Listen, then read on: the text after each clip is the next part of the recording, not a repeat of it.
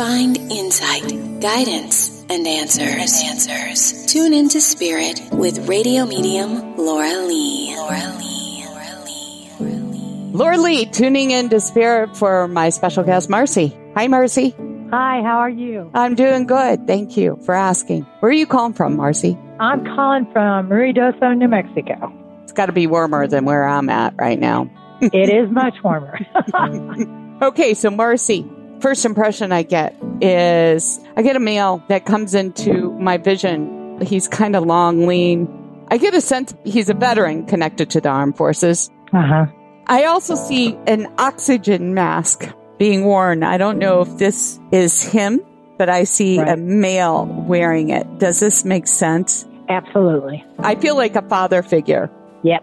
That's my dad. Yeah, he's really close to you. Might have been in the physical as well. oh, okay, now he says there's a major move for you after his passing, and I feel like there's something associated with family as well. I don't know if this makes sense, but he It says this Perfect. this happened after his passing. So it's a big shift. Yes, and we're talking major move across state lines, obviously. Are there Right. grandchildren involved as well, honey?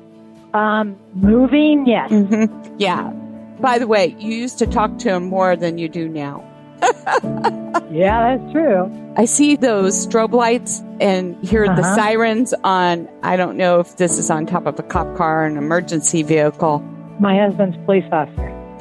oh my. All right. So and he has a take home squad car, so. he knew him, obviously. Oh, Mhm. absolutely. Yeah, they were Knew close. him. Yeah. says hello. The other thing he wants to say, I also get the impression somebody has fallen ill in the family and needing special care, medical help. That's true. And so I feel like there's a tie in, even though, you know, you're saying that the cop car with the lights and the siren, but I also feel like there's a tie in with the family member who's needing the special care. Does that make sense to you, Marcy? Yeah. Yeah. The whole thing makes sense. Absolutely.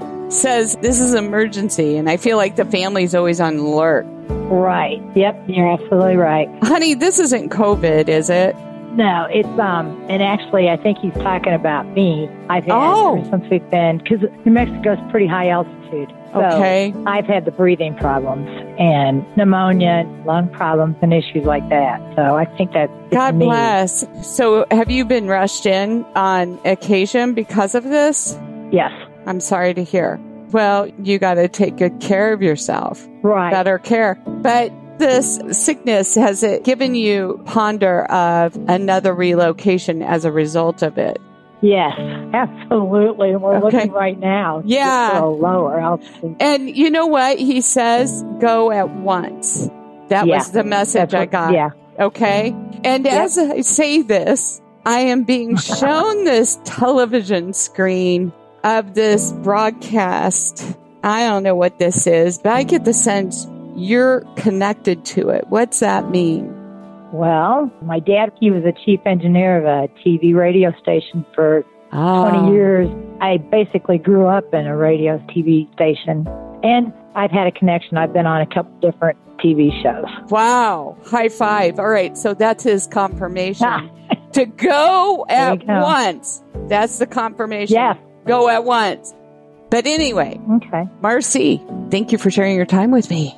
Oh, Lord, thank you so much. I'm so glad I got to talk to you. Yeah, it's a pleasure talking to you too. And if you'd like to be my special guest caller like Marcy, sign up at radiomediumlauralee.com. And if you haven't already, subscribe and share our show on any podcast forum. It is free.